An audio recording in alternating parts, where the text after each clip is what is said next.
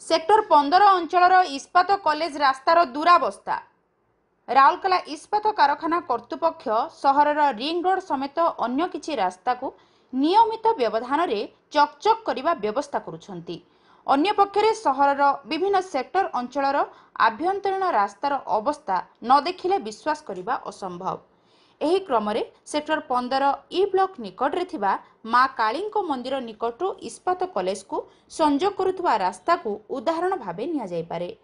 ଏହି ରାସ୍ତାର ଦୁଇ ପାର୍ଶ୍ୱରେ କଣ୍ଟା ଗଛ ସହିତ ବୁଦା ଓ ଘାସ ଆଦି ଭରି ରହିଛି। ଅନ୍ୟପକ୍ଷରେ କେତେକ ସ୍ଥାନରେ ଦୀର୍ଘ ବର୍ଷ ଧରି ରାସ୍ତା ପୁନଃନିର୍ମାଣ ହୋଇନଥିବାରୁ କେତେକ ସ୍ଥାନରେ ଏହି ରାସ୍ତା ଉପରେ ଚାଲିକରି ଯିବା ମଧ୍ୟ କଷ୍ଟସାଧ୍ୟ। ଏହି ରାସ୍ତାରେ ଇସ୍ପାତ କଲେଜକୁ ସଂଯୋଗ କରୁଥିବାରୁ ପ୍ରତିଦିନ ଏହି ରାସ୍ତା ଦେଇ ଶହ ଶହ ବ୍ୟକ୍ତି ଯାତାୟାତ କରିଥାନ୍ତି। ଏସବୁ ସତ୍ତ୍ୱେ ସୁଦ୍ଧା ଏହି ରାସ୍ତାର ପୁନଃନିର୍ମାଣ କିମ୍ବା ମରାମତି ବାବଦରେ ଆର୍ଏସ୍ପି କର୍ତ୍ତୃପକ୍ଷ ନୀରବ ରହିବାକୁ ନେଇ ସ୍ଥାନୀୟ ଅଞ୍ଚଳବାସୀ ଅଭିଯୋଗ କରିଛନ୍ତି।